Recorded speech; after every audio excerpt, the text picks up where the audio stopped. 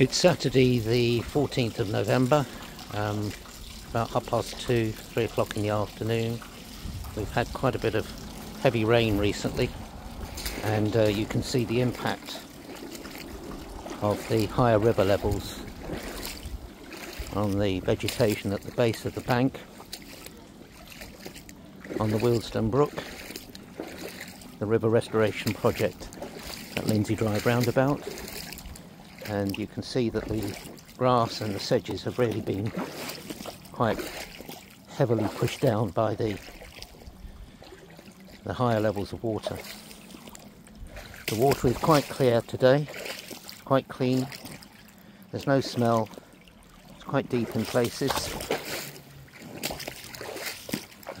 You can see that the irises are alright.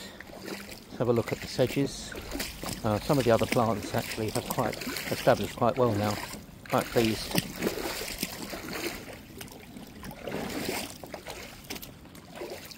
Took a bit of a battering, I think. And I think it's an indication that the silt build-up is going to take quite a bit of time.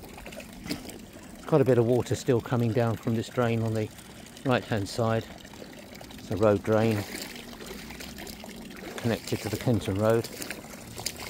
But we'll just have a look and see how much movement there's been. Quite a lot of deposit from leaves and other vegetation that's been washed down.